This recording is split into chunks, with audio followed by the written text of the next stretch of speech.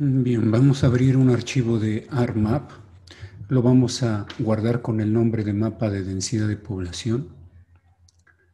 Y vamos a agregar la capa de 21M, en este caso del estado de Puebla. Eh, la terminación en M significa que son las manzanas. La agregamos y como podemos observar, se trata de las manzanas geoestadísticas de todo el estado de Puebla. Si abrimos la tabla de atributos de esta capa, podemos observar que tenemos columnas de claves, claves de entidad, de municipio, localidad, de AGEP y de manzana. La manzana está dentro de una AGEP, el AGEP dentro de una localidad, la localidad dentro de un municipio y el municipio dentro de un estado. Entonces, para poder generar una clave geográfica única por manzana, lo que necesitamos hacer es generar un nuevo campo. Le vamos a poner de nombre clave geográfica.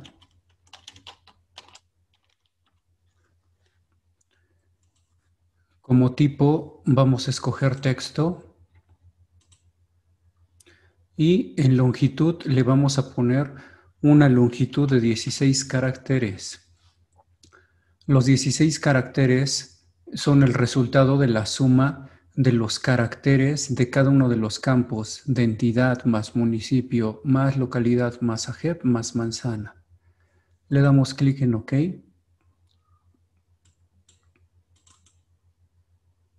Limpio la selección.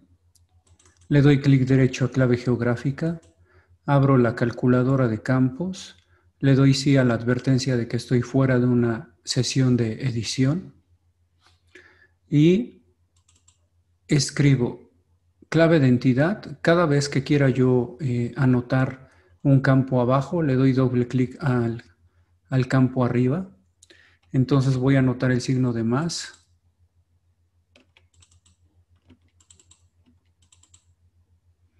Y listo. Le doy clic en OK. Y tenemos completos eh, los, los caracteres que conforman la clave geográfica.